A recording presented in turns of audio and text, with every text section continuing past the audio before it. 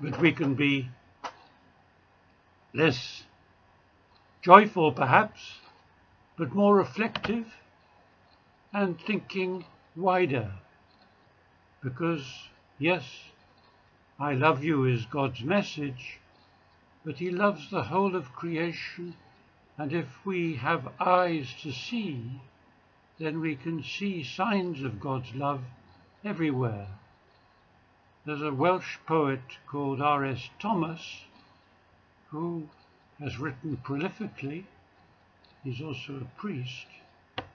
And here's one about suddenly realizing the presence of God in a countryside, in a bright field that is lit up for a moment by the sun on a dark day.